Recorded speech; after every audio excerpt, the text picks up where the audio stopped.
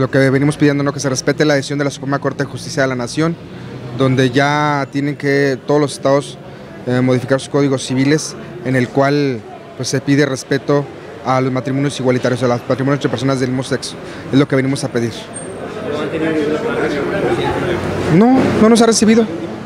No, Israel Soto dice que va a presentar la iniciativa, pero pues como siempre, ¿no? O sea, eh, son los únicos diputados de la oposición los que nos apoyan y den más todos con su razón.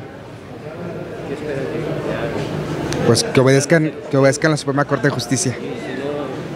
Pues sería muy lamentable porque van a empezar todos los estados a modificar su código civil y Durango se va a quedar en el retraso como siempre vamos a ser los últimos. Los derechos humanos no se consultan, es muy claro y muy sencillo. Los derechos humanos son, no se consultan, son universales y se respetan aquí y en China. Jamás, no se pueden consultar los derechos humanos. Ahorita vamos a permanecer aquí lo suficiente que ojalá alguien salga a decir algo. Pues aquí vamos a estar, en todo momento. ¿Qué más acciones van a hacer? Por lo pronto es la una de las primeras acciones que vamos a hacer. Esta lucha apenas inició.